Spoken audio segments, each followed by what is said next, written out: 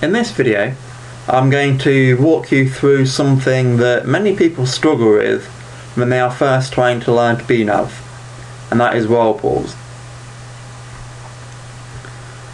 First of all, I'm going to simplify down how whirlpools work into two different steps. And then I'm going to show you how you can practice your whirlpool techniques without having to worry about BNAVing at the same time. And then I'm going to finish off by showing you how you can build up a library of patterns in your head to help you think through whirlpools much faster.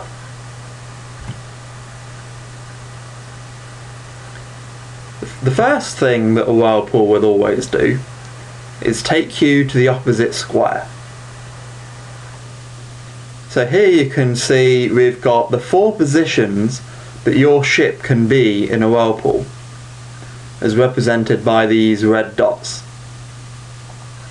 All that whirlpool does is it takes you to the opposite square in that whirlpool. So here in the top left, we go from the top left square to the bottom right square. Then on the next turn, we would go back to the top left square, to the bottom right square, back again, and you'll keep going like so.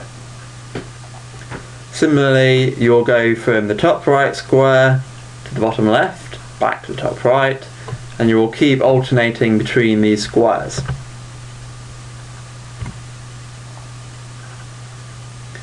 The other thing that a whirlpool will do is it will twirl you around to the right. So you can imagine in your head you're turning right in a car or you're just turning right around the corner, just imagine the different way that you're going to be facing. So what happens is you turn 90 degrees to the right. So as you can see here in these pictures, we've got the ship facing upwards to begin with, and then it faces to the right, then it faces down, then it faces to the left, and then it faces up again. The most important thing to do with whirlpools is to practice just with whirlpools. If you're trying to worry about figuring out a whirlpool for the first time, and trying to BNAV, and worry about your crew, then you are not going to do very well, and it will take you quite some time to pick it up.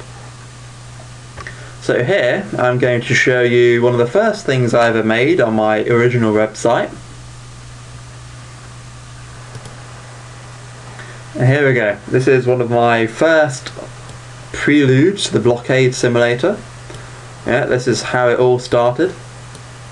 I believe this might be a bit buggy, but we can get the general idea from this. So, I'm going to take a left and plop it into the moves. I'm going to execute it. And first we'll see how the ship goes one square, it's just going between opposite squares. If I execute it again, look, it's just going between those two squares back and forth. Now, if you look at the rotation of the ship, you'll see right now it's pointing to left, then up, to the right, down, to the left again. Let's see that again. Back to the left, up, to the right, down, and then back to the left again.